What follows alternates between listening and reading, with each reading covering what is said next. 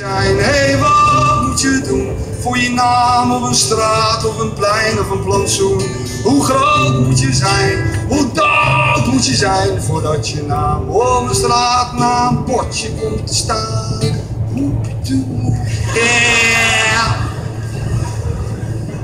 En dan komt de perkendol.